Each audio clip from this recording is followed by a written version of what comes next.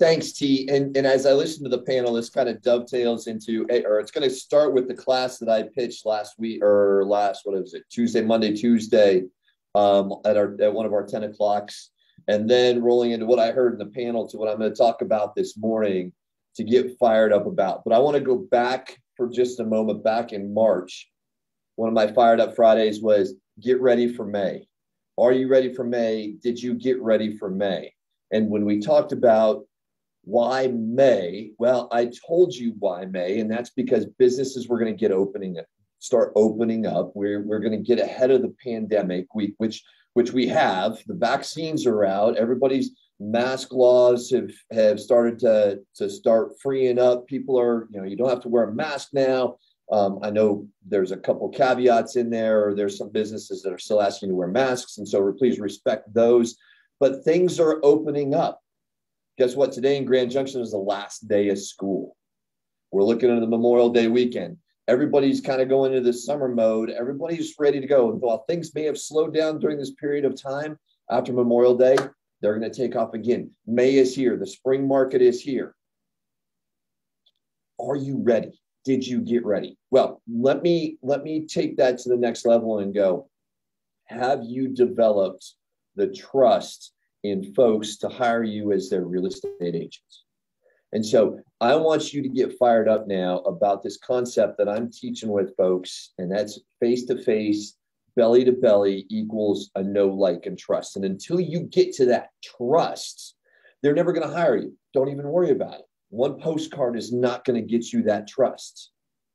One phone call is not going to get you that trust. It's that repeated over and over and over, getting in front of people so they know they like and they trust you. I talked to one agent yesterday who said, Hey, my the, the way I post on Facebook, the way it makes no sense. But I said it absolutely does make sense because the content that you're putting out, the information that you're sharing with people, is allowing people to know you, they like you, and they trust you. And ultimately, that trust is the biggest thing that you're trying to establish with them. She said, Hey, I walk into rent or um, into grocery stores and they're like, Hey, you're so and so, and you posted this. That was awesome. Let's talk about it. Blah, blah, blah, blah, blah, blah, blah. She has no idea who they are. None. But there's a relationship that's been built because they know her, they like her, and that has built that sense of trust. So it's how you are building that sense of trust. Well, now people will go, ah, social media, Carrie, just Carrie, I love everything you're putting out every single day. And, and great, keep doing it. And, and if you're not taking advantage of what she's putting out, she's giving you the playbook to do it. But there's people out there that's like, oh, I just don't like social media. I've got one agent that was like, I don't have a Facebook account. I'm not going to do it. Okay. Then how are you developing that trust? How are you getting in front of people? And I think in today's markets, in fact, I know in today's market, the way to get into front of in front of people, if you're not on social media, is you got to get out in front of them. Are you knocking on doors? Are you setting up events where people come to you? Oh, by the way, open houses. It's a lead source. Get back in the habit of doing open houses.